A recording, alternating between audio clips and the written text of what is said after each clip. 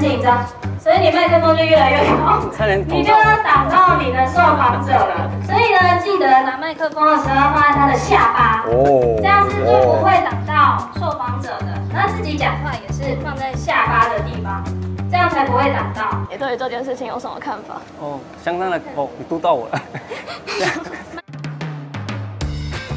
讲完话要给你的受访者这样，然后呢，不要拿两只手，这样我们就会知道你是菜鸟。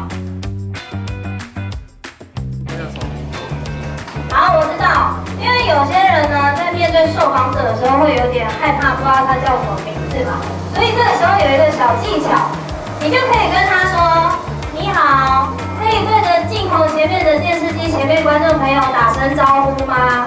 嗨，大家好，请问您是？”啊，张志阳教哦，对，没错，你就可以知道他的名字，但这段我们回去不会用。对，没关系，但是你已经知道他的名字，这是一个小技巧。